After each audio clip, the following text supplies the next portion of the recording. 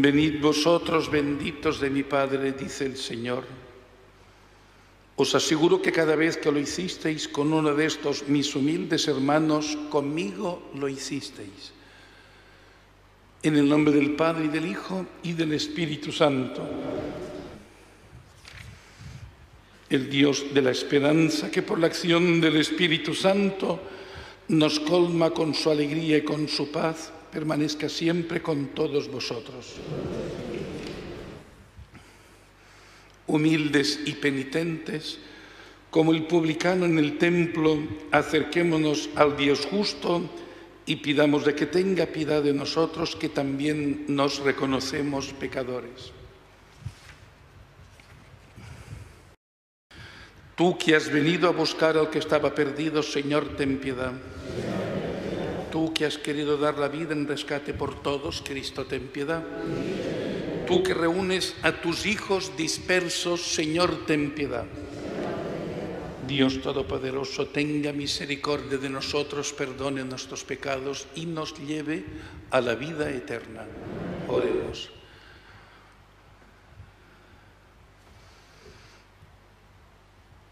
Oh Dios, concédenos tener el valor de asemejarnos a tu Hijo incluso hasta en la muerte.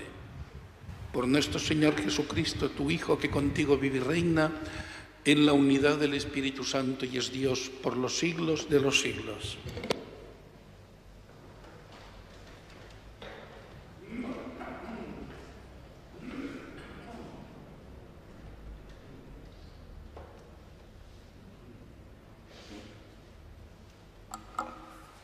Lectura del profeta Ezequiel. Me vino esta palabra del Señor. Hijo de Adán, vives en la casa rebelde. Tienes ojos para ver y no ven. Tienen oídos para oír y no oyen. Pues, es, pues son casa rebelde. Tú, hijo de Adán, prepara el ajuar del destierro y emigra a la luz del día, a la vista de todos. A la vista de todos emigra a otro lugar, a ver si lo ven pues son casa rebelde. Saca tu ajar como quien va al desierto, a la luz del día, a la vista de todos, y tú sal al atardecer a la vista de todos, como quien va al destierro. A la vista de todos abre un boquete en el muro y saca por allí tu ajuar. Cárgate al hombro el latillo a la vista de todos, sácalo en la oscuridad. Tápate la cara para no ver la tierra porque hago de ti una señal para la casa de Israel. Yo hice lo que me mandó, saqué mi ajuar como quien va al destierro. A la luz del día, al atardecer, abrí un boquete en el muro, saqué en la oscuridad, me cargué al hombro el latillo a la vista de todos. A la mañana siguiente me vino esta palabra del Señor, Hijo de Adán, ¿no te ha preguntado la casa de Israel, la casa rebelde, qué es lo que hacías?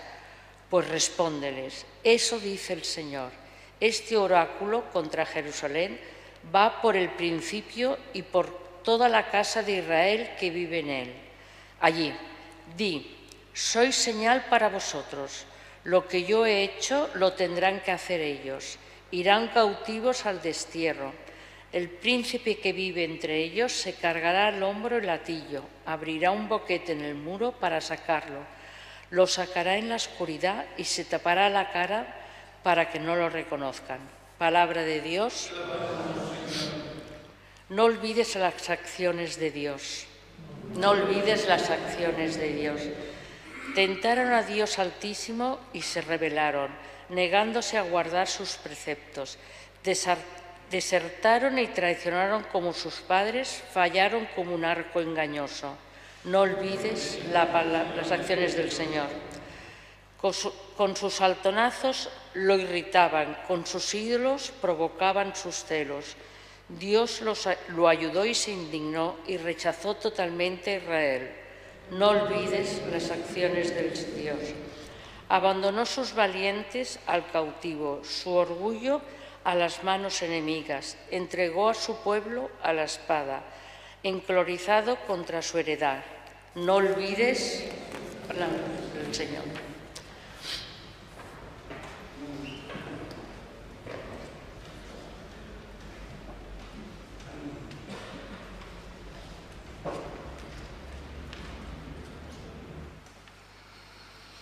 El Señor esté con vosotros. Lectura del Santo Evangelio según San Mateo. En aquel tiempo acercándose Pedro a Jesús le preguntó, Señor, si mi hermano me ofende, ¿cuántas veces le tengo que perdonar? ¿Hasta siete veces? Jesús le contesta, no te digo hasta siete veces sino hasta setenta veces siete. Y les propuso esta parábola. Perdón. Se parece el reino de los cielos a un rey que quiso ajustar las cuentas con sus empleados. Al empezar a ajustarlas le presentaron uno que debía diez mil talentos. Como no tenía con qué pagar, el Señor mandó que lo vendieran a él con su mujer y sus hijos y todas sus posesiones y pagar así. El empleado, arrojándose a sus pies, le suplicaba diciendo, Ten paciencia conmigo y te lo pagaré todo. El Señor tuvo lástima de aquel empleado y lo dejó marchar perdonándole la deuda. Pero al salir el empleado aquel encontró a uno de sus compañeros que le debía cien denarios y agarrándolo lo estrangulaba diciendo, Págame lo que me debes. El compañero, arrojándose a sus pies, le rogaba diciendo, ten paciencia conmigo y te lo pagaré. Pero él se negó y fue y lo metió en la cárcel hasta que pagara lo que debía. Sus compañeros, al ver lo ocurrido, quedaron consternados y fueron a contarle a su señor todo lo sucedido. Entonces el señor lo llamó y le dijo, siervo malvado, toda aquella deuda te la perdoné porque me lo pediste. ¿No debías tú también tener compasión de tu compañero como yo tuve compasión de ti?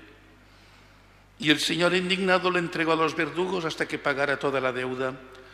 Lo mismo hará con vosotros mi Padre del cielo si cada cual no perdona de corazón a su hermano. Cuando acabó Jesús estos discursos, partió de Galilea y vino a la región de Judea, al otro lado del Jordán. Palabra del Señor.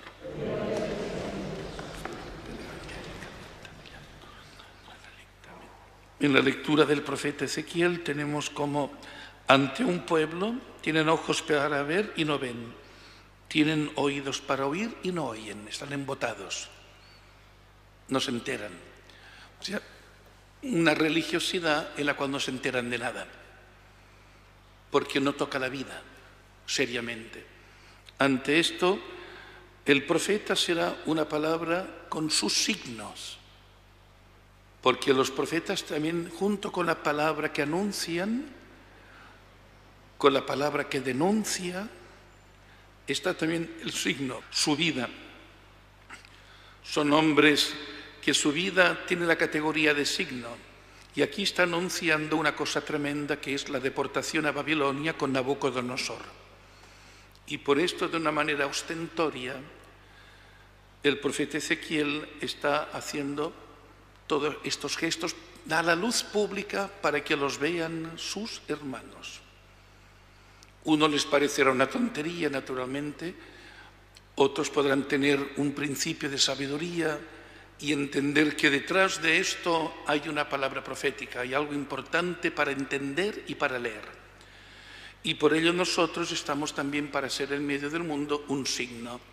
Y a veces ser un signo significa ser diferente pero no diferente por prurito, porque somos súper guay, sino porque resulta que nos pertoca en el nombre del Señor, no en el propio, porque somos unos merluzos todos nosotros, todos.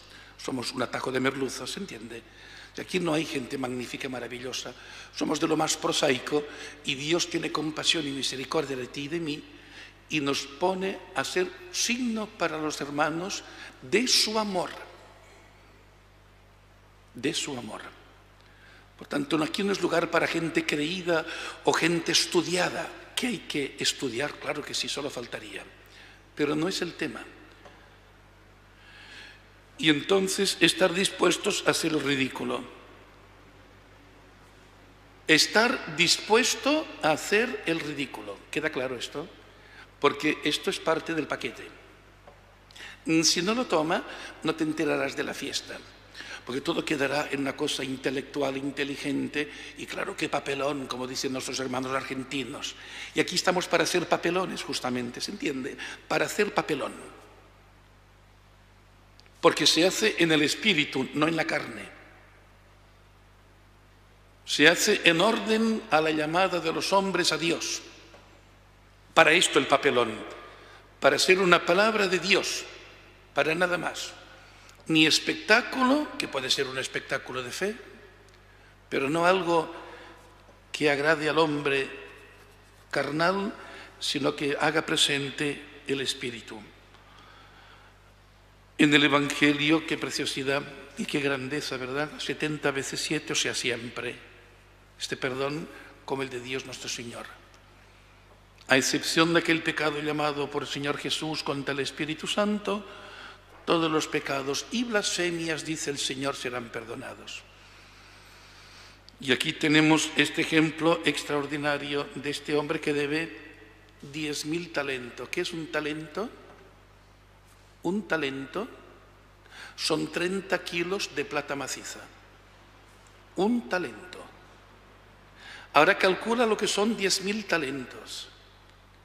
Un talento son siete mil denarios y encontrándose su compañero que le debía 100 denarios. Un talento son siete mil denarios y su compañero le debe 100 denarios. Esto.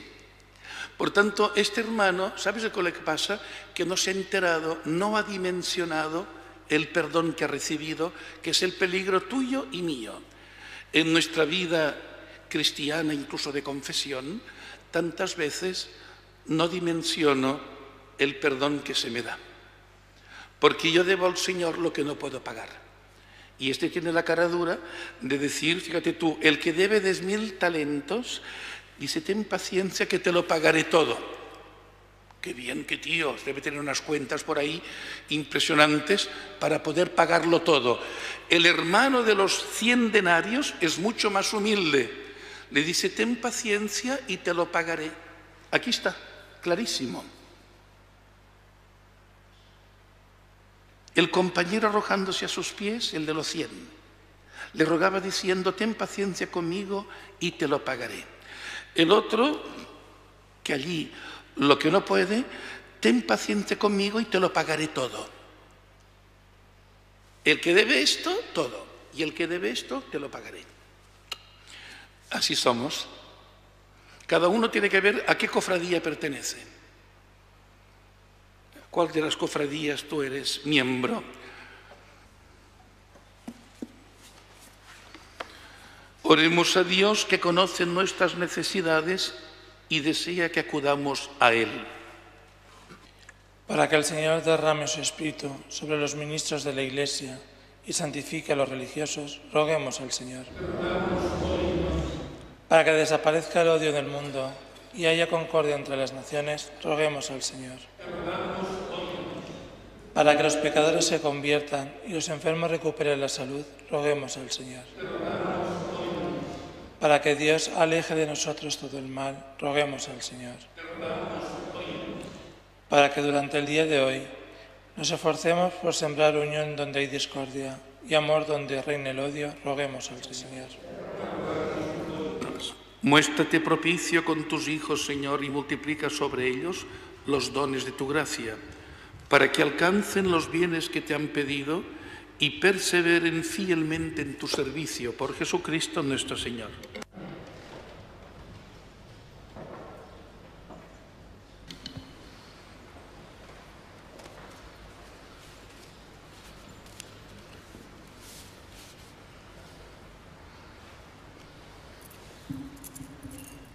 Bendito sea, Señor Dios del universo, por este pan, fruto de la tierra y del trabajo del hombre, que recibimos de tu generosidad y ahora te presentamos. Él será para nosotros pan de vida.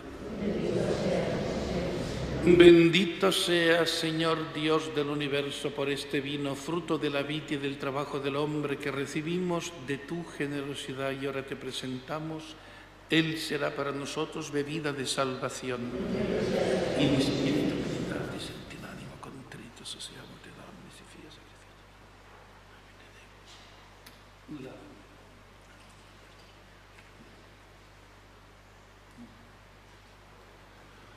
Orad, hermanos, para que este sacrificio mío y vuestro sea agradable a Dios Padre Todopoderoso.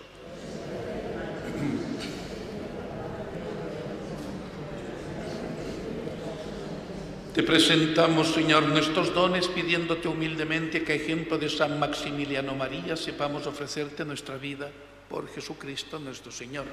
Señor, esté con vosotros. Levantemos el corazón. Demos gracias al Señor nuestro Dios. En verdad, es justo y necesario, es nuestro deber y salvación darte gracias siempre y en todo lugar Señor Padre Santo, Dios Todopoderoso y Eterno, por Cristo Señor nuestro. Por eso, como los ángeles te cantan en el cielo, así nosotros en la tierra te aclamamos diciendo sin cesar, Santo, Santo, Santo es el Señor, Dios del universo. Llenos están el cielo y la tierra de tu gloria. Osana en el cielo. Bendito el que viene en nombre del Señor. Osana en el cielo. Santo eres en verdad, Señor, fuente de toda santidad. Por eso te pedimos que santifiques estos dones con la efusión de tu Espíritu, de manera que sean para nosotros cuerpo y sangre de Jesucristo nuestro Señor, el cual, cuando iba a ser entregado a su pasión voluntariamente aceptada, tomó pan. Dándote gracias, lo partió, lo dio a sus discípulos, diciendo, tomad y comed todos de él porque esto es mi cuerpo que será entregado por vosotros.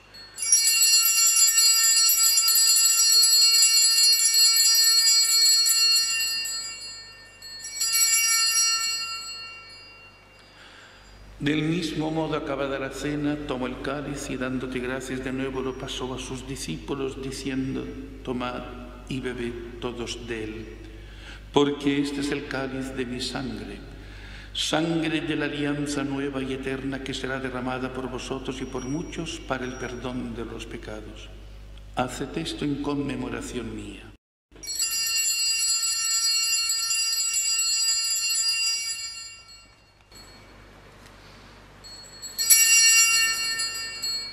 Este es el misterio de la fe.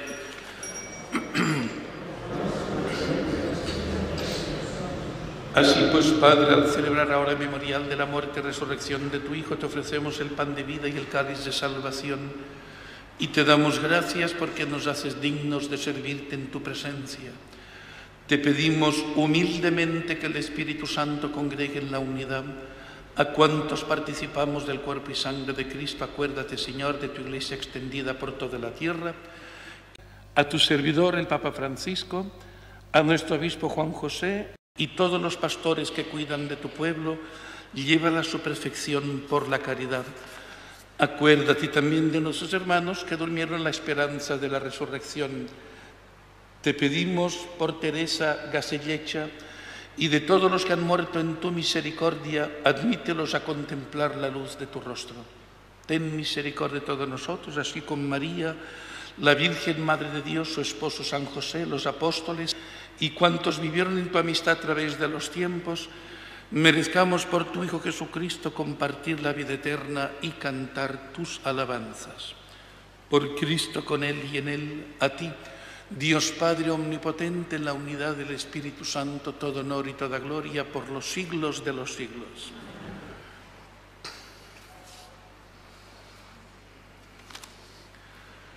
Antes de participar en el banquete de la Eucaristía, signo de reconciliación y vínculo de unión fraterna, oremos juntos como el Señor nos ha enseñado.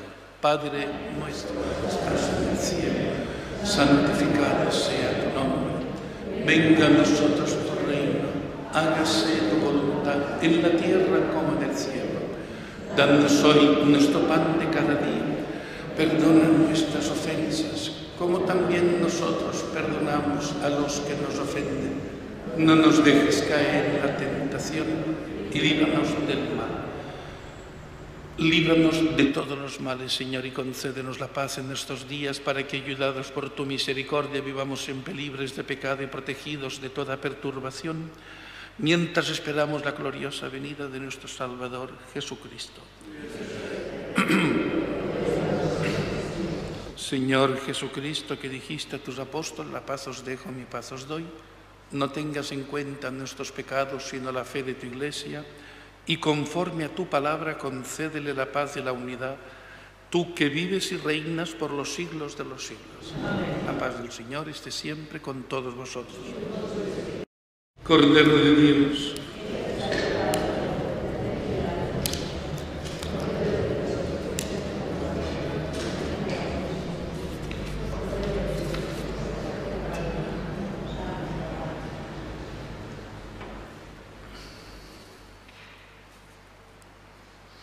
Este es el Cordero de Dios que quita el pecado del mundo, dichosos los llamados a la cena del Señor. Señor, no soy digno de que entres en casa, pero una palabra tuya bastará para sanar.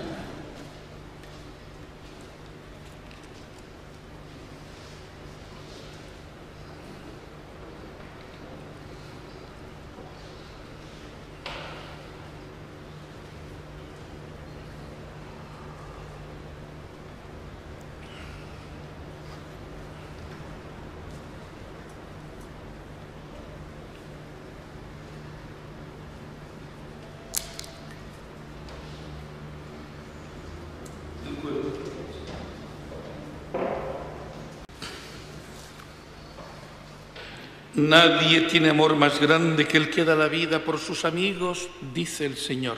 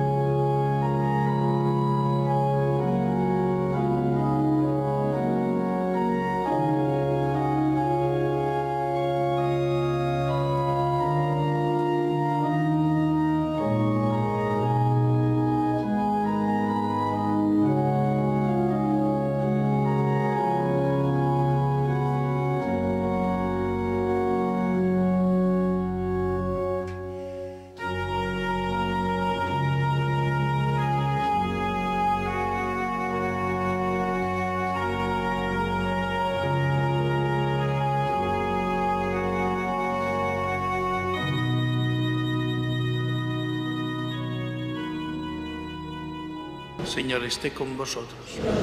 La bendición de Dios Todopoderoso, Padre, Hijo y Espíritu Santo, descienda sobre vosotros. Hermanos, podéis ir en paz.